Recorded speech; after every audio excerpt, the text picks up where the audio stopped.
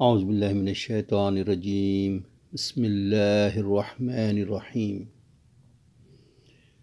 व मशाइ को परवरदिगार बनाना गुमराही है सूर तौबा की एक आयत है इतखज़ु अहबारहम व रहबानहम अरबाबम मिंदून वलमसीहब न मरियमा वमा उमिरु इल्लाबुदू इलाहम वाहिदा इन लोगों ने अल्लाह को छोड़कर अपने ओलमा व मशाइ को परवरदिगार बना लिया और मरियम के बेटे मसीह सलाम को भी हालाँकि इन्हें जो कुछ हुक्म दिया गया था, वो उसके सवा कुछ न था कि एक खुदा की बंदगी करो।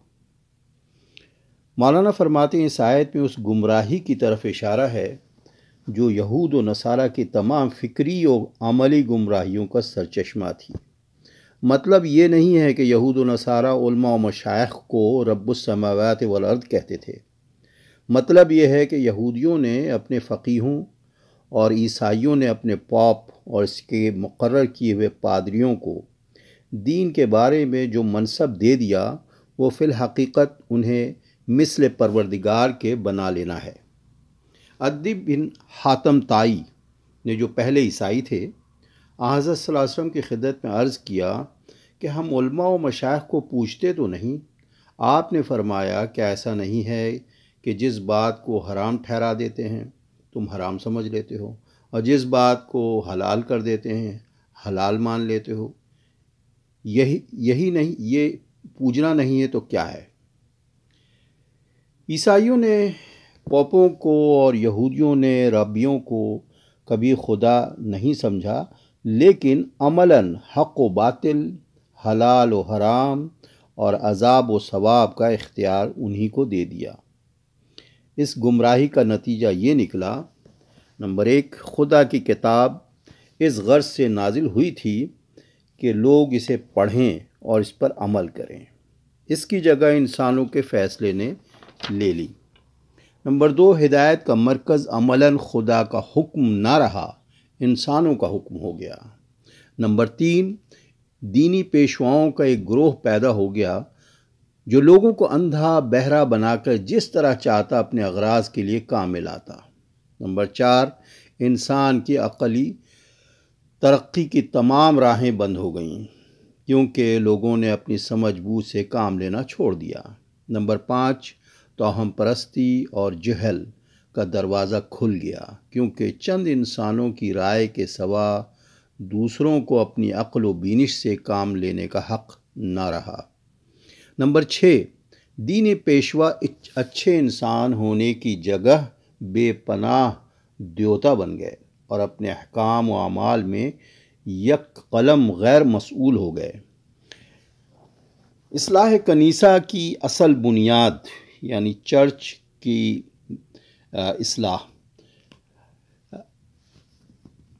यूरोप के इस अहद पर भी जो निशात सानिया यानी रेनेसेंस के नाम से मशहूर है, इन नतज की सारी मिसालें और नज़रें कदम कदम पर मिलेंगी। कुरान ने जिस वक्त ये सदा बुलंद की थी, ईसाई दुनिया इसे सुनने के लिए तैयार न थी। जब यूरोप के ईसाइयों को सलेबी लड़ाइयों में मुसलमानों से मिलने और इस्लाम को करीब से देखने का मौका मिला तो उसके असरात काम करने लगे। आखिर मार्टिन लूथर ने असलाह कनीसा यानी असलाह चर्च की दावत बुलंद की। बिना नज़ा क्या थी? ये कि हक़ का मैार अल्लाह की किताब या पॉप का इजतहाद नंबर दो, निजात का मदार ईमान है या पॉप की सनद मगफरत? आज ये वाक़ दुनिया के तारीख़ी हक़ में से समझा जाता है कि यूरोप की तमाम जहनी और अमली तरक्कीों का दौर असलाह कनीसा यानी असलाह चर्च की दावत से शुरू हुआ।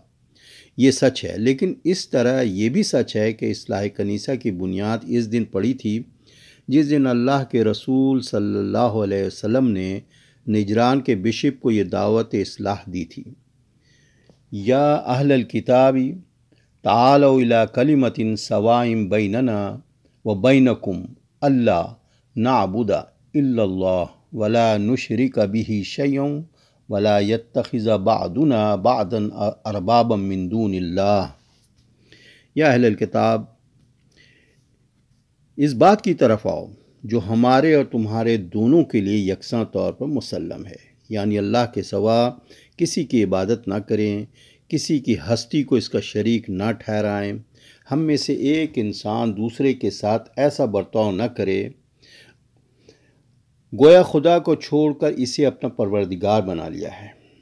अगर छठी सदी ईस्वी के ईसाई जोहल और तासुब ने इस दावत से इनकार ना किया होता वो तम, तो वो तमाम तारीख सदियाँ जहूर में ना आती जिनकी वहशत अंगेज़ सरगुजश ने तारीख को कलमबंद करनी पड़ी।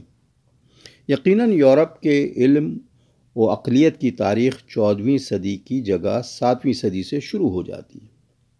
मुसलमानों की हैरानी और बेचारगी, मसीही दुनिया की सरगजिश का ज़िक्र करते हुए फरमाते हैं कि सोचो, ख़ुद मुसलमानों का क्या हाल हुआ? जिन्हें इस दावत की तबलीग सुपर्द की गई थी।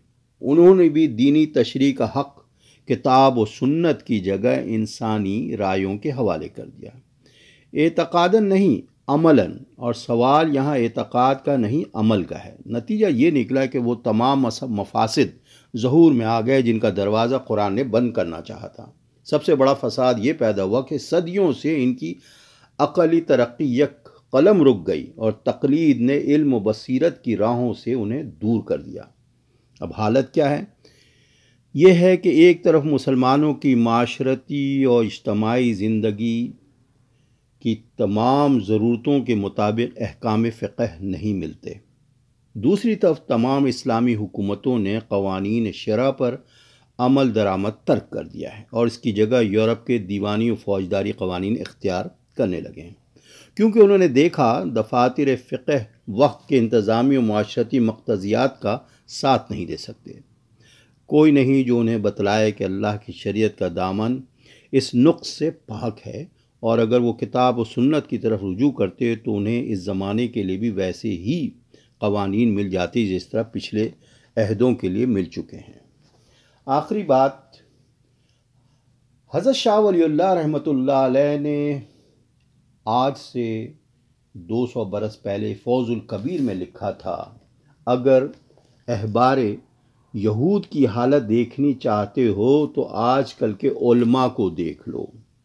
और अगर ईसाइयों के रहबान का नक्शा खींचना चाहते हो तो आज कल के मशाह के सामने बैठ कर खींच लो। वमा अलैना इल्लल बलागल मुबीन।